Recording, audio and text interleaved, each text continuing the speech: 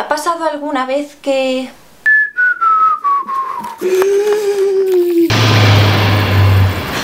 Voy a morir. Voy a morir. Por favor, decidle a mi chico que le quiero. Y a todos los youtubers de ciencia que cuiden de mis suscriptores. Ah, que es una mancha, no un bicho.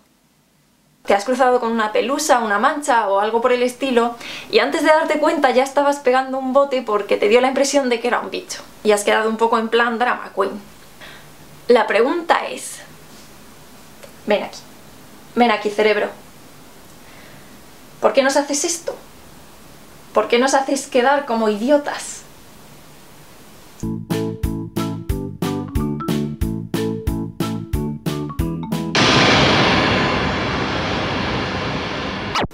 El cerebro nos hace quedar como idiotas, pero tiene sus motivos.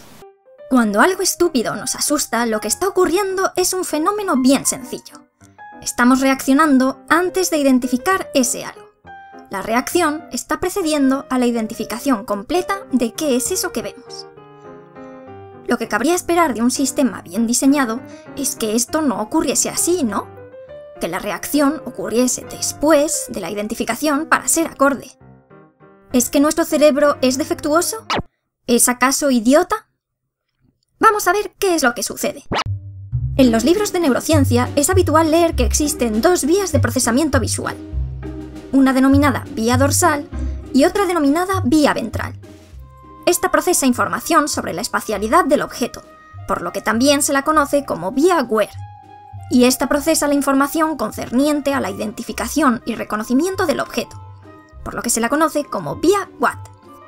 La vía Watt es la que permite que cuando tú ves una pelusa, veas una pelusa. Asocies lo que ves con su concepto. Esta vía se nutre de información de alta resolución, procesa los detalles. El problema es que es una vía denominada como lenta. Tiene muchos relevos. La imagen se tiene que procesar a muchos niveles. Es lenta en términos neuronales. Y ya sabemos lo que significa lentitud en la naturaleza. Gracias al Señor, existe otra ruta visual alternativa que no es tan refinada, no es tan tiquismiquis con lo que ve. Esta ruta alternativa se denomina comúnmente como vía visual subcortical, pero como no está del todo claro que sea puramente subcortical, la vamos a llamar ruta de evaluación del estímulo. Si recuerdas el vídeo del fenómeno de la visión ciega, esta vía alternativa es una de las que se proponen como explicación a las habilidades extraordinarias de esos pacientes. Su función es evaluar rápidamente lo que se ve y desencadenar una respuesta en caso de identificar algo extraño. Conecta de manera más directa con núcleos y áreas asociados al desencadenamiento de emociones y respuestas, como la amígdala. El problema es que esta ruta, a diferencia de la otra, trabaja esencialmente con información en bruto, poco detallada, con poca resolución. Y es por esto que una mancha o una pelusa en la pared desencadenan la misma respuesta que un bicho, porque lo que ve esta ruta es esencialmente lo mismo, una mancha negra sobre un fondo claro. Y eso es una imagen de peligro para este sistema. Te asustas porque este sistema pensado para reaccionar rápido trabaja con información en bruto, en baja resolución. Cuando el otro sistema termina de procesar la imagen e identificas lo que realmente es, es cuando te sientes estúpido. Quizás te preguntes qué es lo que determina la resolución de la imagen con la que trabaja cada sistema. Esto depende del tipo de input que cada vía recibe desde la retina. La vía ventral recibe principalmente input desde las células ganglionares tipo beta. Son células que reciben señales desde grupos pequeños de fotorreceptores. Si nos imaginamos que cada grupo es un píxel, podemos decir que la vía ventral observa el mundo a través de un monitor 4K. En cambio, la ruta de evaluación del estímulo recibe esencialmente input de las células ganglionares de tipo alfa y gamma. Estas reciben señales desde grupos grandes de fotorreceptores. Usando la analogía del píxel, la ruta de evaluación observa el mundo a través de un monitor de estos.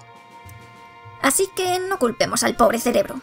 Al fin y al cabo, hace lo mismo que hace YouTube. Bajar la resolución para cargar más rápido. Y todo para que puedas seguir disfrutando. Ay, si es que no me puedo enfadar contigo. Uy, uy, qué mono. Si os ha gustado este vídeo, que sepáis que lo ha inspirado este desconchón en mi pared, que siempre que voy a cerrar la ventana y vengo por aquí, me da un susto porque pienso que es un bicho. Así que decid gracias, desconchón. Uy, puta. Hasta aquí este vídeo sobre por qué te asustas de cosas absurdas. Si a ti no te asusta desentrañar todas las curiosidades de tu conducta, no olvides suscribirte al canal.